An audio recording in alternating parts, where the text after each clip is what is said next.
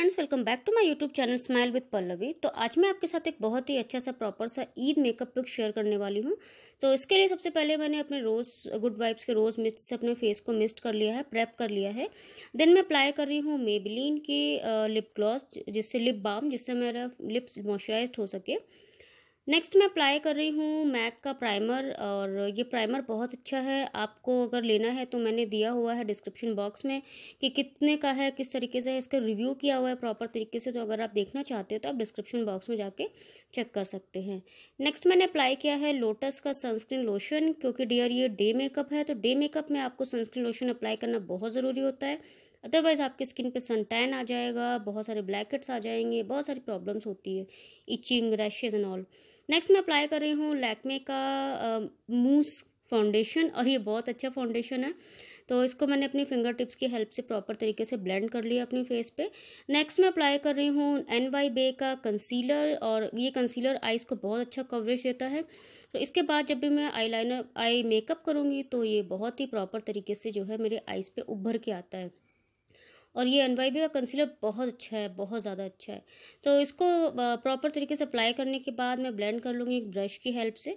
Then मैं apply कर रही हूँ लैकमे का रोज़ पाउडर सन रोज़ पाउडर है। ये आप गर्मी के दिन में अप्लाई कर सकते हैं, बहुत ही अच्छा है आपके लिए। नेक्स्ट मैं अप्लाई कर रही हूँ ग्लैम ट्वेंटी वन का आई शेडो पैलेट इसके लिए मैंने सबसे पहले थोड़ा बहुत ही डार्क ब्राउन कलर लिया है, क्योंकि मैंने डार्क ड्रेस पहनी है तो डार्क कलर का ही मेरे को आई शेडो का बेस बनाना था आई बेस तो मैंने जो है प्रॉपर तरीके से दोनों आईज़ में अप्लाई कर लिया है और ब्लेंड कर लिया है एक एंगल ब्रश की हेल्प से. तो आप देख सकते हैं कितना पिगमेंटेड ए वन स्टॉक में ही कितना प्रॉपर तरीके से आइज़ पे आ गया है. नेक्स्ट मैं अप्लाई करूँगी ब्लू डार्क ब्लू कलर ले करके, आप कह सकते हैं पर्पल कलर है वो एंड गोल्डन कलर को मिक्स करके एक प्रॉपर तरीके से एक मैं जो है कलर देना चाह रही हूँ, जिससे मेरे कलर जो ड्रेस पहनी उससे मैच करे।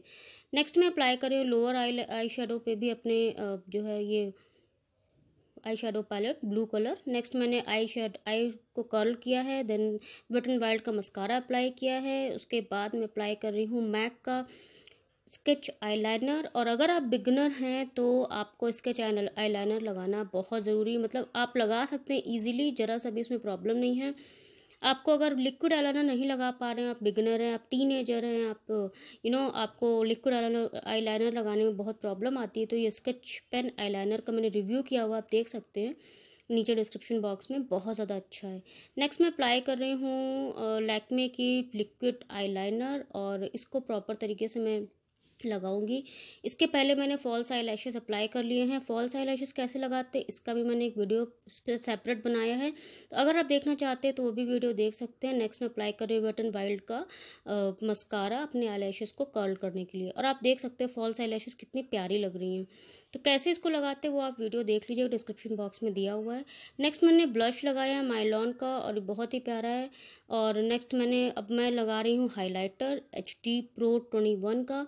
नेक्स्ट मैं काउंटर कर रही हूँ एंड दैट्स इट अगर आपको अच्छा लगा तो उसको लाइक कर दीजिएगा कमेंट करिएगा शेयर करिएगा अपने फ्रेंड्स के साथ और चैनल को नहीं सब्सक्राइब किया तो सब्सक्राइब कर लीजिएगा।